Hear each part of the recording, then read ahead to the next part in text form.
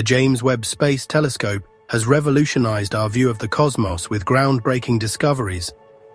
Among its most exciting findings is JADES GSZ140, the most distant galaxy ever observed, formed just 290 million years after the Big Bang.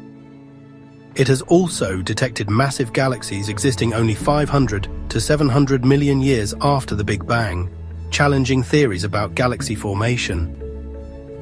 Closer to home, the telescope has revealed intricate details of the Milky Way's core, uncovering hidden star-forming structures.